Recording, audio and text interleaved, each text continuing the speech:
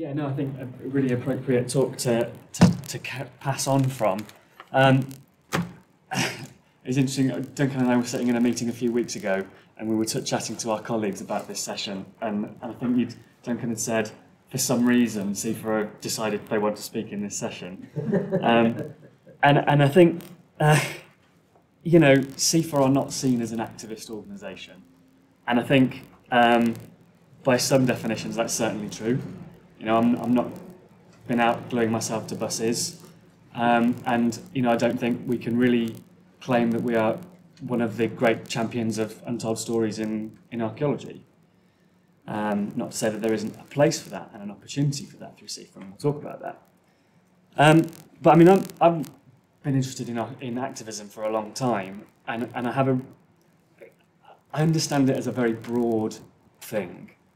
Um, activism is about a process for seeking change, and it has in my mind two elements, and that's about bringing pressure on decision makers, but also providing information, providing kind of answers to questions. Um, so activism certainly includes things like mass protest and boycotting and um, you know, legal action. But in the 21st century, activism is a much kind of more complex tapestry. Um, and there are lots of elements of advocacy toolkits for a whole range of uh, actors that, that are, in some senses, activists, or at least where activism is important. It's about raising awareness, influencing opinions, promoting interactions, um, and ultimately providing solutions. So I want to talk a bit about that kind of wider ecosystem for, the, for activist activity um, and why participation and engagement with CIFA um, is something that we really want to encourage. So um, I was going to do a little bit of history. Um, I'll probably skip over that because I think, as, as we've just talked about, um, CIFA's history and, and is enmeshed back in the, the history of rescue and, and other organisations back in the 70s. Um, one of the things that we wanted to very respectfully challenge um, in the in the abstract for this session, and I think probably respectful challenges perhaps where CIFA sits in the in the activist um, spectrum, is the idea of an established and establishment-led course for archaeology. Um, one of the things that always amazes me and, and quite saddens me in a way is how little agency people seem to feel about shaping the direction of their, their profession modern archaeology as a profession is, is so young, it doesn't have an established course. We're, we're literally making it up as we go along. And the history of our modern profession is groups of people getting together to make it up, to work out what to do next. There isn't, there isn't a rule book, there isn't a, a model really that we can, that we can base things on. Um, and that's something that, that, that I personally, and, and, and I think Rob agrees, would be very keen to, to, to change and in, engaging people with CIFA. So we go back to the 1970s. Um, it took nine years, I think, nearly 10 years to, from the creation of the Association for the Promotion of an Institute of Field Archaeologists to that institute actually coming into reality based around concerns, a lot around um, non-publication of archaeological excavations um, in those in those early years. Um, it took another 14, 15 years before, before the Institute for Archaeologists was in a position to employ a, a full-time director. There'd been a, a company secretary and company um, administrators up to that point. Um, and over those years, the role of the Institute changed um, quite, quite considerably um, to take on issues like um, pay and working conditions, campaigning against subsistence wages, which for those of you who don't remember, meant that people worked basically for, for travel costs and, and, and food costs uh, and no wages. Um, looking at archaeological contracts and looking at equal opportunities as well. I think if I'd, I did have a look back through some of the archive photos, and those photos of early um, IFA councils are, are very, very male dominated, like the Rescue Council. And I think this, this um, the picture on, on, on the left of the slide um, is one that I've taken from, from, from our office. It's travelled through various different office moves over the, over the last uh, the last 20 years or so. Um, and I think it arises from, from um, criticism of, of CIFA, that, that idea of CIFA always being an establishment organisation of the usual suspects. Um, and, and the point of this slightly doctored um, film poster was to show that actually that's, that's the IFA Executive Committee around 20 years ago. It was entirely female. Um, and certainly the interview panel that interviewed Peter Hinton as, as first director of the Institute was an entirely female um, interview panel. So things changed. Um, lots of response to that sense of, of huge increase in contract archaeology, huge concerns around the sort of commercialisation of archaeology and what that might do to standards, but also um, working conditions for archaeologists. And leading to a name change um, from the Institute of Field Archaeologists to the Institute for Archaeologists to try and encompass a much wider group of individuals and eventually in 2014 up to becoming a chartered institute. So there have been a number of achievements over that time. I haven't got a sound effect on this. There was a great sound effect on my laptop. Um, primarily, really, I think around the processes um, for self-regulation and actually setting up um, a formal professional structure for archaeology um, and recognition for archaeologists within that.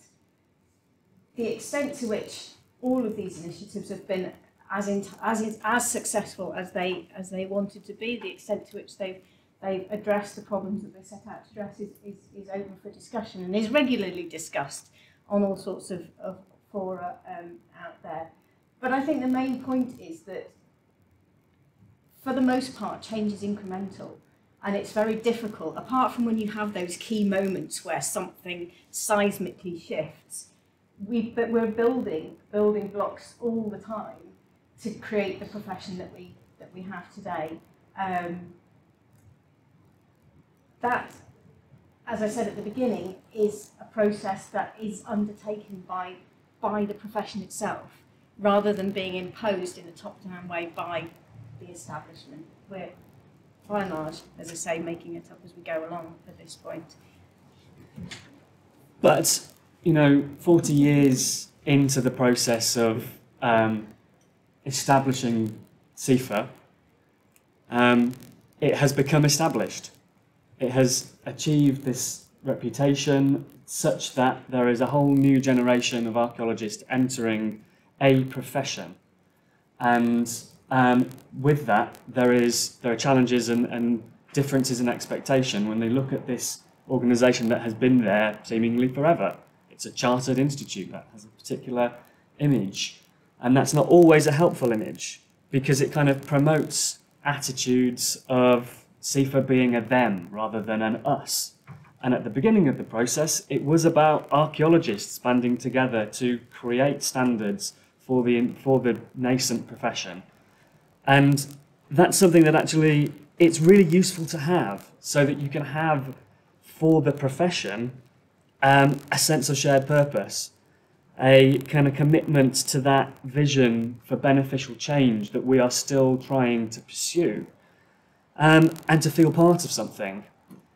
So, you know, my tongue is slightly in cheek there, but we've cut our long hair, we've purchased our red lightsabers, and we've become the evil empire.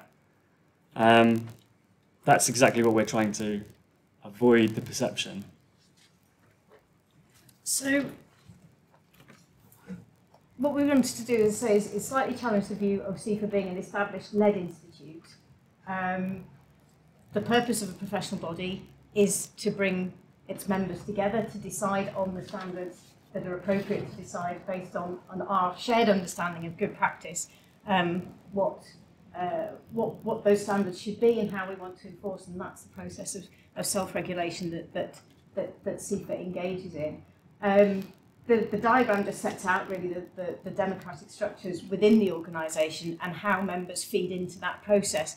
And the key, the key bit of that diagram is the advisory council, um, which is elected, um, 20 elected members and 20 representatives of the, our special interest groups who are in themselves elected um, by their own committees. And that's a pivotal role, really, the advisory council. Um, it has its challenges, and I think there are, there are two there are two key challenges. This this structure is relatively new. It came in um, with the, the, the Chartered Institute in 2014. Before that, we had a, a much um, we had a single council with an executive committee that, that took the executive decisions about running running the company, as it were, that is that is the institute, um, the governance side of it. Um, so the advisory council that we have now is intended to be much more representative. Um, it's the big difference uh, between that and the old um, council is that council members were were the, the purpose of their role they were supposed to represent themselves and um, contribute their own individual expertise to the running of the Institute. The Advisory Council calls on its members to represent their particular constituents, whether that's through a special interest group, whether it's through different parts of the country, or indeed different parts of the world now as we have more international members. Um, so those advisory council members are tasked with, with reflecting uh, members' views back um, to, to the board of directors and, and via them to the, to the staff. So there are a couple of challenges with that. One is, is time, staff time.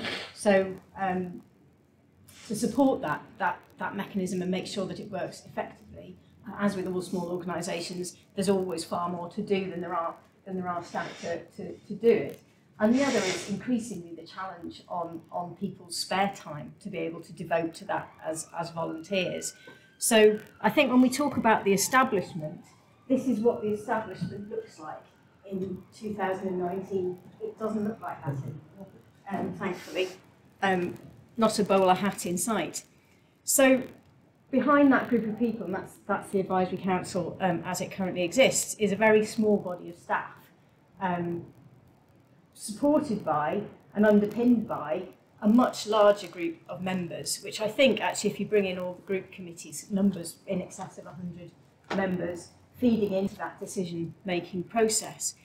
Um, and we just wanted to have a very quick look at, at, at what two of those groups are doing. Um, and two groups that, that probably, um, and I hope Hannah won't be offended if I say this, fit into that activist model um, perhaps more, more, more That's closely. the whole point of our group, so I'm pleased that you described it as that. Um, so the Diggers Forum, um, which has been founded for a while now actually, um, exists to try and support and represent the views of, of field archaeologists, contract archaeologists back into that structure. And it provides a really useful sort of bridging mechanism, perhaps for those who might not otherwise think that membership of a professional body is for them. Um, and the Equality and Diversity Group, which has been one of our big campaigning groups, um, again, probably more fitting into that activist model. But I think, I think it would be fair to say in some ways that actually a huge indication of the Equality and Diversity Group's success would be if it ceased to exist. Because it would have become the establishment. Those, those issues and those concerns would have been totally absorbed and taken on by the sort of central establishment that is, is CIFA and it would have done its job. And that's the process that we see from activism into, into establishment um, as we go through the development of the professional body and developing the structures um, that we need to support it. So, I mean, so that's about activism within CIFA and how it's important to define the, you know, direction of the institute.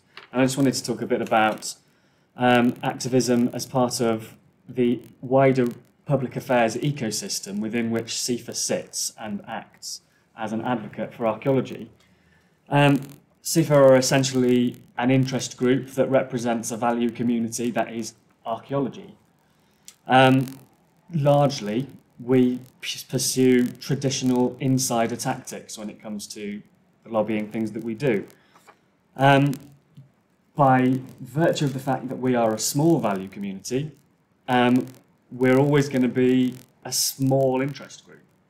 Um, and so we have a challenge when it comes to creating the influence and access that we seek um, by virtue of the amount of pressure that we can bring um, to those people that we're trying to influence. So we're always in a situation where we need to earn political capital by building trust and respectability rather than a position to burn political capital by going out and protesting because we can't bring a huge amount of pressure by doing that. We've chosen that our best tactic as an institute is to build that respect, build that trust. However, there is a wider um, ecosystem that exists around us in archaeology and how we advocate for it. And that actually can be hugely um, reliant upon different kinds of tactics. Jill, Jill touched, touched on this, and you know the, the choices that rescue the organisation makes are different tactics can be very helpful to us.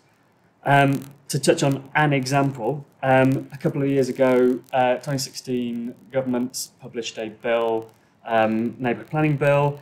It don't need to go into the details of the changes that it made, but it, it had proposed um, a potentially dangerous change to the way pre-commencement planning conditions work in, in the planning system, which obviously important for um, a huge amount of archaeology, um, how that is levered.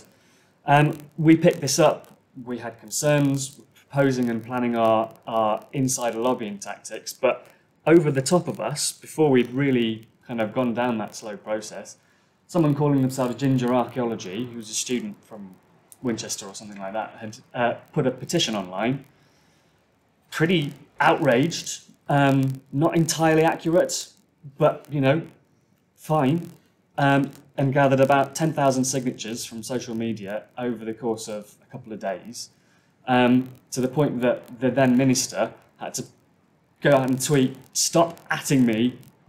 We have not intended. We do not intend to damage archaeology. It had a huge impact. The kind of thing that we could not have done. The kind of involvement from a wide range of people on social media that we could not have yielded by our measured diplomatic tone. And yet, what it did, it, in, it got the, the minister to inform his civil servant to come to us to say, could you come in for a meeting, please? We would like to discuss what this policy means and make sure that it is not damaging and it's less damaging um, as a result. Now, there are some risks and challenges involved in this model. Um, so there's a danger that it's harder to engage members in this style of advocacy. It's harder to um, get them to understand what we're doing and understand the kind of the, the, the, the, the um, impacts that we're having. We also have a problem because we are a wider membership organisation and as, as I say, an established membership organisation now, that there is this perception that people have to join rather than people want to join. And if we're not careful enough about making that communication to our members to cultivate their support, it's, it's damaging for the organisation and it's damaging for the message. We need better communication to ensure that engagement happens. There's a danger around vested interests because once you once you start to achieve things on a particular um, advocacy uh, agenda, you create reinforcement loops. And we have to make sure that through representation and participation in the organisation, through things like putting yourself forward to be part of the advisory council and bringing different ideas through, that actually the organisation is able to right itself if it gets um, pulled onto one track. Two linked problems, I mean, it's possible when you're pursuing the kind of innovative tactics that we do, that slow and incremental change is often hard to sell and easy to criticize. And it doesn't satisfy the more radical desires of those people who are in the profession. And then there's a danger that an organisation like CIFA can be outflanked in terms of its support um, through membership by those who satisfy those more radical concerns. And I think the, the, the way to do that is not to compete amongst your organisations. It's not say that this is an either or, but it's a both both types of tactics are required. And again, it's about building those positive relationships between organisations. And I'm really pleased that actually I have regular meetings with members of regular uh, of um, Rescue Council now, so we can you know share information and talk about these things. Um, and there's a suspicion of, of incorpor incorporation, you know, by the fact that I go to meet a Tory minister or sit down with some civil servants supporting the Tory government, and that's not terribly popular amongst the membership that there is a, you know, a suspicion that we are cozying up to the establishment. And the thing that I would say that proves that that's not the case is that when Kate and I sit down for pints with people after advisory council, after tag conferences, we chat, we're on the same page I've never had an interaction with an archaeologist talking about an advocacy issue where we have not been on the same page with what we want.